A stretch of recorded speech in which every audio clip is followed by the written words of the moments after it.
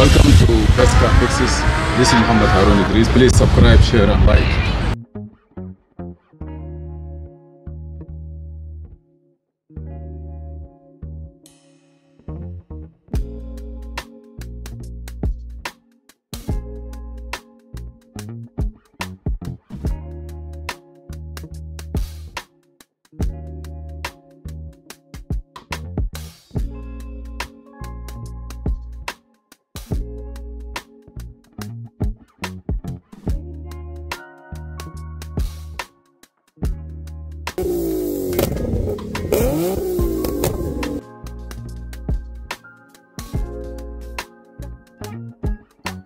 Usual, people asking uh, what is the diagnostic tool or what is the difference between the OEM diagnostic tool and the aftermarket diagnostic tool. Yes, aftermarket diagnostic tool is just like a, a general doctor. Okay, he can do anything, but uh, he can go beyond that. It's Specialized, uh, the OEM tools is a specialized tool. That means a general, uh, a general tool, aftermarket tool can do a general broad of cars at the same time. You can do Toyota, Honda, all cars, but it have limits. The opposite side of uh, OEM, which is original one, is only do the, the uh, it's only work on the car that is specified for. Today we are going to work on two, uh, give you information about one, which is a GM. What GM use and what it has. GM start by using Tech 1. After Tech 1, they start using Tech 2. Tech 2 is for Saran, GM, and also uh, Isuzu also use it, and they stopped using it after 2013. They come up with another tools, uh, they call it um, MDI, uh, MDI. And MDI also, they keep updating MDI 1, MDI 2, but you're using the uh, platform that you have to download it, you have to have a subscription to download it, and it only lasts for 30 days. Let me show you here now. We have here, this is a Tech 2. The Tech 2 is, there is Tech 1, very old one, but this is a Tech 2 that it does all the functions of programming, diagnosis, troubleshooting for GM, uh, General Motor, which is including uh, Oldsmobile, Sarans, and and uh, Buick, General Motor, or Chevrolet and General.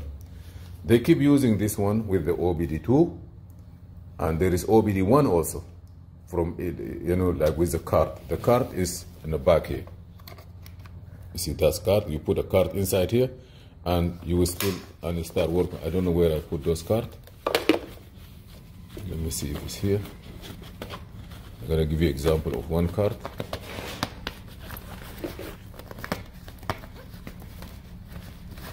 Don't see anything. Maybe it's inside here.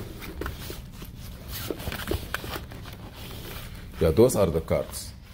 Those cards, for example, GM have the same card.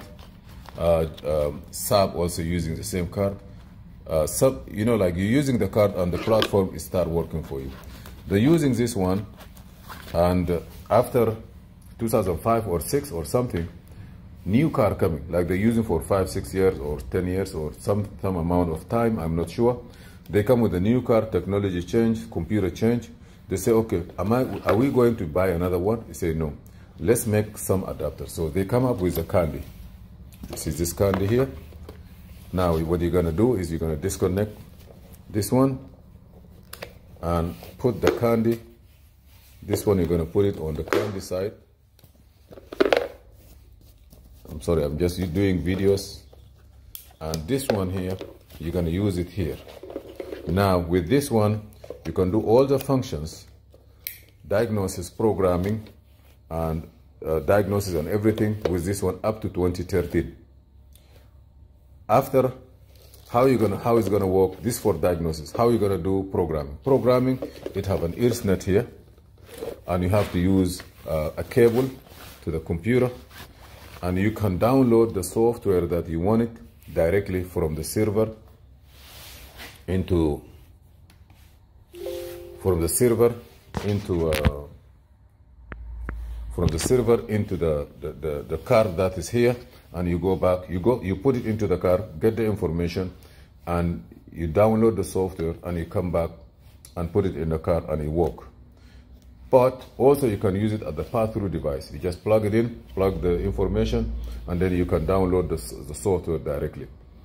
But this will work only standalone up to 2007. After 2007, now they change. Before they send you a CD every uh, other day update. It have all your software. Now they change that one and they come up with MDI1. This MDI1, I just give you a quick information. You can, MDI1, this is MDI2. With MDI1 and MDI2, now they come with this one here. This one here is not only a pass-through device, you can use it as a pass-through device. Uh, it have USB connector. And this is MDI1 original, and there's MDI2. Uh, you connect this one to engine computer and to the laptop, and then this to the car. It works as the pass-through device, and is recommended for especially the newer cars, which is have another uh, kind of communication line which you cannot do it with any other pass-through device. This is Ford, by the way. Now, when you use this one here, this the good about it, with this one you can use uh, use it as a diagnostic tool for the newer cars 2020, 2021, 2019, 2017, 16. Uh, some even, you know, like you can use it as a diagnostic with a platform called GDS. How are you going to get the GDS? The GDS, you have to have a subscription on TIS2Web after you have a subscription and you buy your stuff, you're gonna come here on access extend. Let me show you. Access extend, and then you come here, click on this, and say yes. Then you go to GDS. Click GDS, start GDS2. You're gonna view download. You're gonna wait for it when it's coming. Now you're going to say run. Run. Now it will start downloading the GDS. The GDS is a platform for all Ford, I mean um, Ford GMC platform. You can do diagnosis, you can do Saran and General Motor, all the functionality of the diagnostic that you will be able to do it on it, it does it. And it does it very professional. It does it very professional, but you cannot do programming. This is a diagnostic. Uh, some cars, if you are using a regular scanner, you will not be able to communicate with some modules because they are, they are talking with a different protocol. So if you are, if you work on GM professionally, you can have uh, this platform ready it work only with this one. You can work only with any pass-through device, but it's limited to some module you will not be able to communicate with. But when you use this one here, approved, it work fine. The same time you can diagnose the car, do all the functionality, and go back to to uh, to programming. The same time, download the software, and it's very accurate. You need to have a new laptop like this, please. GM upgrade his laptop. It have some specification that you need to follow. Last time I tried to program the car, I couldn't. I did everything I cannot. I have to go buy this laptop and it have a really very, very uh, clear specification. They can even help you set it up and you will work with it.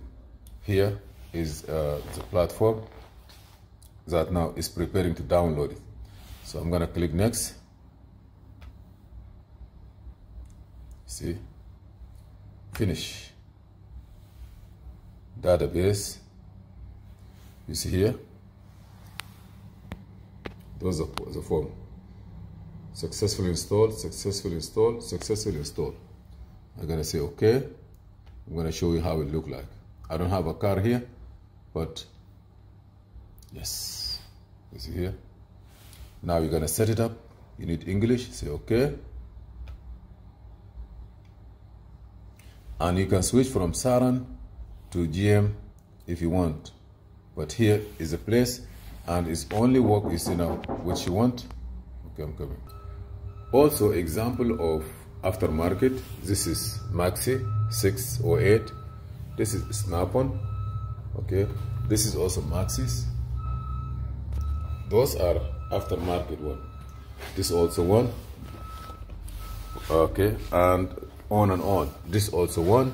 This only for ML, for example, and uh, you you just name it. But if you need to work on on on uh, original OEM, for example, this is a Nissan original Consult 3 Plus.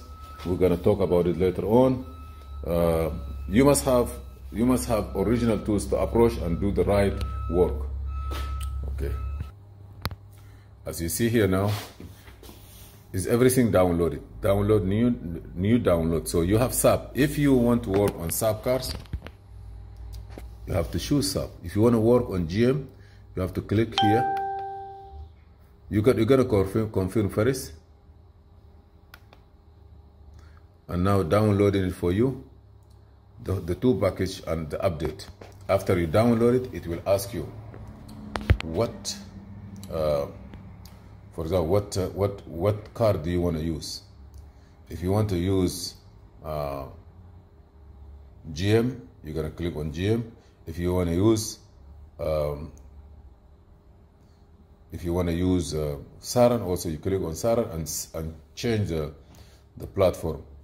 Right now, I have Saab Global GM. I mean Saab. Global, everything is okay. Do you want to install Saab?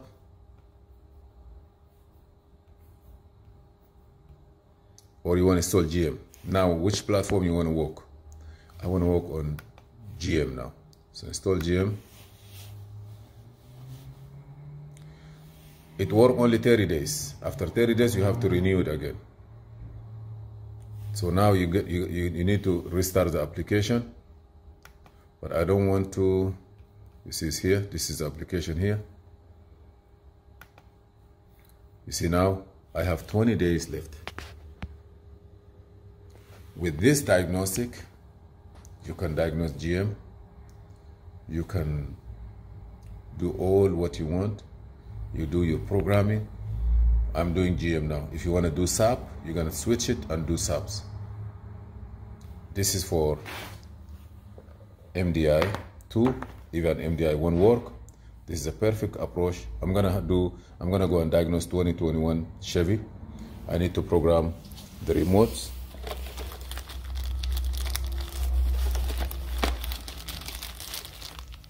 I need to program those remote. You can use this one. I don't know if I can use the other tools, it work or not, but this is a brief information about how GMC work. Do not try to approach working on new cars with the older diagnostic tool. It may not help. Thank you for watching Mobile Electronic Diagnostic. This is Muhammad Harun Idris and Best Car Fixes. Please subscribe, share and like and see you in another video. If you have any question, please feel free to ask. And uh, next we're gonna check and see if I can talk about Ford uh, scanners, where they start and what do you need if you need to work seriously on Ford. By the way, the power of aftermarket tools also is great and they are there and they're working fine. Some tools when you use on dealer tools, you cannot have all what you want in functional, they block it. But aftermarket tools, they bypass those as end engineering. I don't know what the secret beyond it, but they work on it. Thank you. See you in another day, another video. Please like, share, and subscribe. And thank you.